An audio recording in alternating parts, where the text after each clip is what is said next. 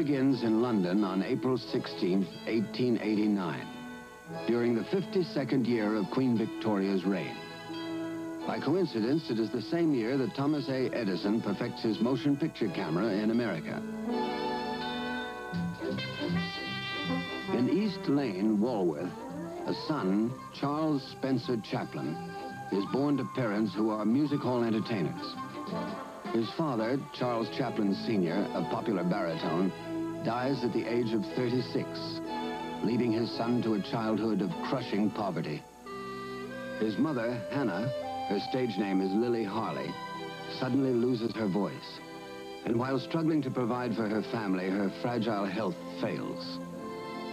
One day, young Charles returns to their garret room at 3 Pownall Terrace to find his mother in such a state that he must lead her to an infirmary. Left alone in London's Kennington slum, Charles and his older brother, Sydney, live like urchins out of a Dickens novel, keeping alive by doing odd chores, dancing in the streets, selling papers, such as these lads. Around him he sees the tramps and the swells, the coppers and the toughs. More than his world, this is his school. Eventually, Charles spends several years under the harsh discipline of Lambeth Workhouse and the Hanwell School for Destitute Children. At the age of eight, he is already supporting himself as a member of the Eight Lancashire Lads, a clog dancing act. In 1900, when he is 11, Charles becomes a child actor on the London stage.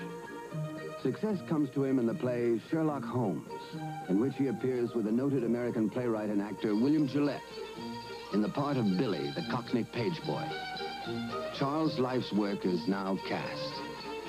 At 16, he joins Casey's Court Circus, an act in which youngsters impersonate famous people.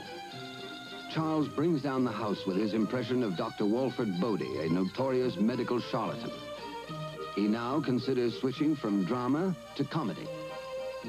When Sydney Chaplin becomes a successful comedian with the famous Fred Karno Company, he persuades his boss to give his kid brother a job. Charles, seated second from the left, soon shows his natural comic talents and is given leading roles in Karno sketches such as this one, called Skating. Another young comedian in the act is Arthur Stanley Jefferson, later to gain fame as Stan Laurel of Laurel and Hardy.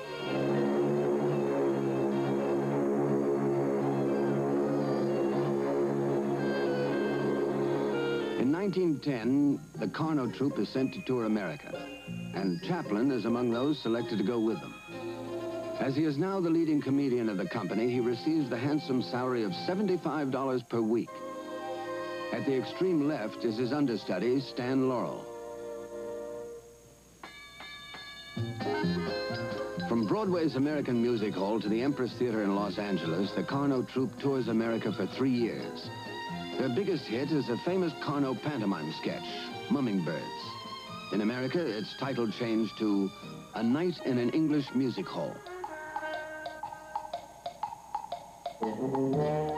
The audience sees a show within a show, with Chaplin playing a tipsy gentleman seated in a box on stage who continually heckles and interrupts the performers.